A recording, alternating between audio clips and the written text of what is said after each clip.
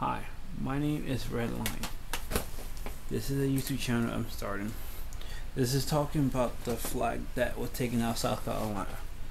It's disappointing to be American once you have a flag that's been up so long that represent tyranny and racism. I does not understand why South will keep pride of something that was so ugly of our American history. It's just shameful.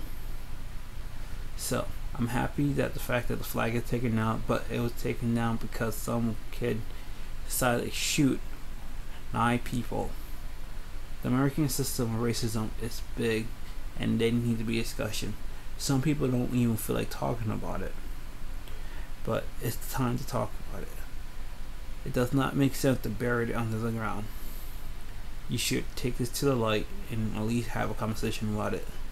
The reason they took the flag down because it was it was dis, um, distasteful because the person who was wearing it was a racist. But the flag is nothing but a hate symbol.